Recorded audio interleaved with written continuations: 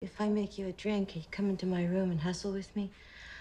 I need a partner for my dance class. I mean, if you fix me a drink, I'll come in and clean your bathroom. I think when I read the script, I almost kind of couldn't believe it was true.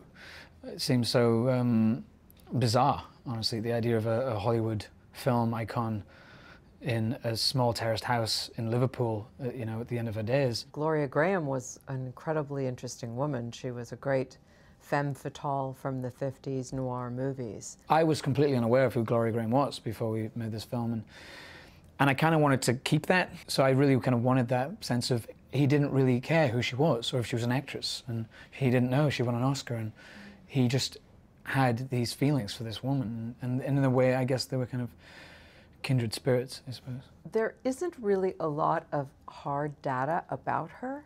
She was famous. She won an Academy Award. She was married to very famous people, a couple of them were. But in terms of her actually describing her own life, there isn't a lot there.